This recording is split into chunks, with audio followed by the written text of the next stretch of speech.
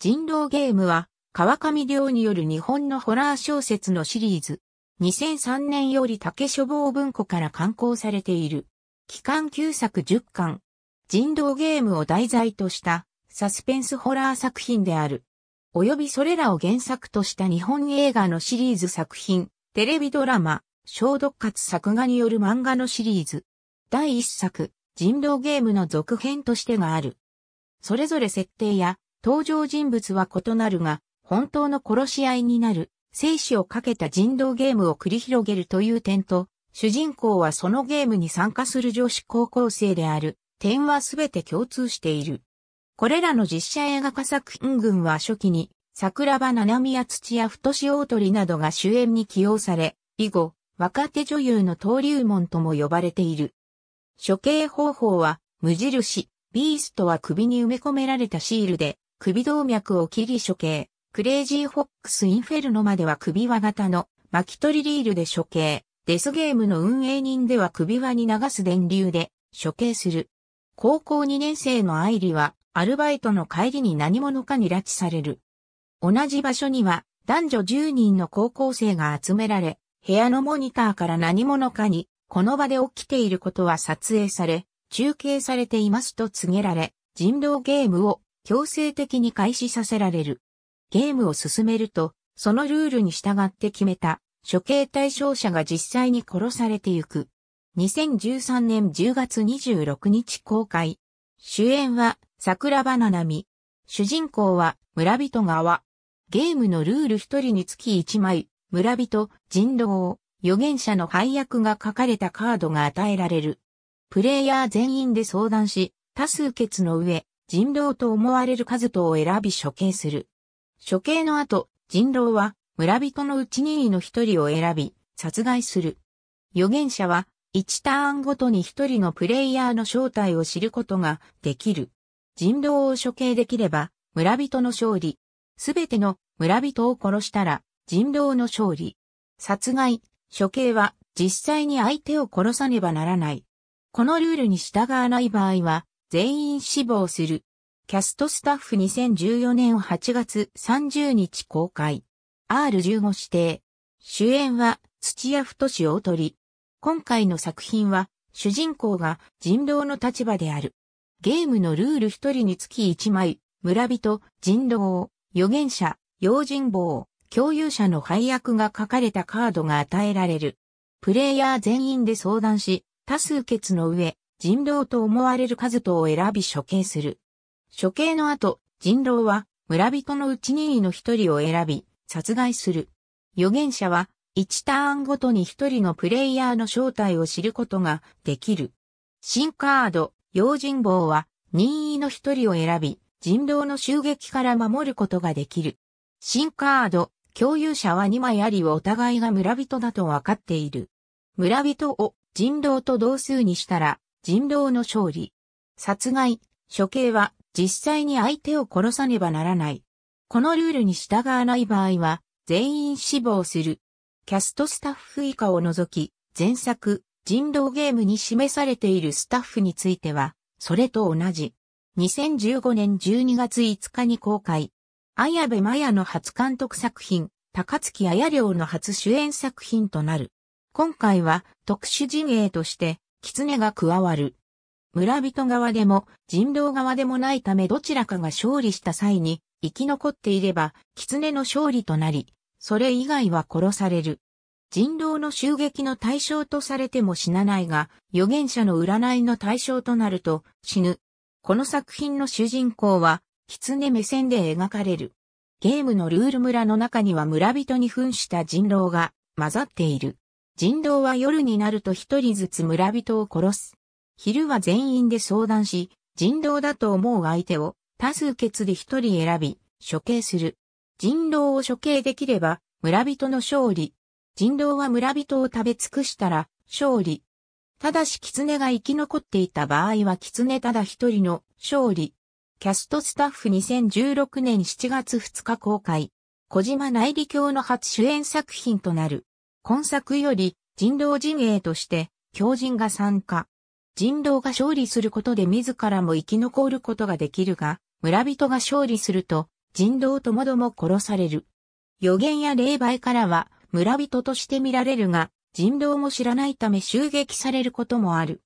本作の主人公は狂人側で描かれる。ゲームのルール1から4は、クレイジーフォックスと同様。キャストスタッフ2017年1月28日、公開。古畑星夏の初主演作品となる。新たに、サブ役職として、キューピット、恋人が追加。キューピットは、役職に関わらず初日に恋人を二人決めることできる。恋人が片方が死んだ場合、もう片方も自動的に死んでしまうが、ゲームに決着がついた際に二人とも生きていた場合は、恋人並びに、キューピットの勝利となり、その他の役職は全員死亡となる。キューピットは、恋人に決めた二人の役職は知らないが、恋人が死んでも、村人陣営として継続される。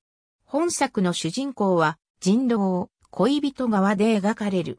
ゲームのルール1から4は、クレイジーフォックスと同様、キャストスタッフ2017年7月15日公開。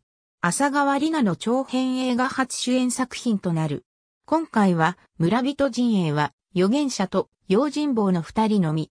人狼陣営は人狼一人と残り七人が狂人となる。本作の主人公は用心棒側で描かれる。ゲームのルール構成は人狼一人、預言者一人、用心棒一人、狂人七人。毎晩8時にロビーに集まり、任意の相手に投票。最多票を集めたものを所定の武器を使って処刑。該当者が複数いた場合、それ以外のものによる決選投票を行う。それでも票が割れた場合、その夜は処刑中止。人狼は深夜0時から深夜2時までの間に誰か一人の部屋を訪れ、所定の武器を使って相手を殺害する。ルールに違反した場合は首輪によって処刑。狂人は村人側としてカウントされるが、人狼側が勝利した場合に勝利。キャストスタッフ2018年1月16日からテレビ埼玉をはじめ全国8局で放送。全10話。主演は武田玲奈。